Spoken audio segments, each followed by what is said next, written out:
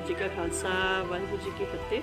ਪਿੰਡ ਚੀਮੇ ਤੋਂ ਸ਼ਹੀਦ ਭਾਈ ਮੰਗਲ ਸਿੰਘ ਦੀ ਪਤਨੀ। ਮੈਨੂੰ ਜਿਹੜੀ ਪੈਨਸ਼ਨ ਮਹੀਨਾਵਾਰ ਪੈਨਸ਼ਨ ਮਿਲਦੀ ਹੈ, ਨਵੰਬਰ ਤੇ ਦਸੰਬਰ ਦੀ, ਇੰਗਲੈਂਡ ਦੀ ਸੰਤ ਸਿਪਾਹੀ ਸੇਵਾ ਦਲ ਸੁਸਾਇਟੀ ਵੱਲੋਂ ਮਿਲ ਚੁੱਕੀ ਆ। ਮੈਂ ਉਹਨਾਂ ਦਾ ਬਹੁਤ ਬਹੁਤ ਧੰਨਵਾਦ ਕਰਦੀ ਹਾਂ। ਵਾਹਿਗੁਰੂ ਜੀ ਕਾ ਖਾਲਸਾ, ਵਾਹਿਗੁਰੂ ਜੀ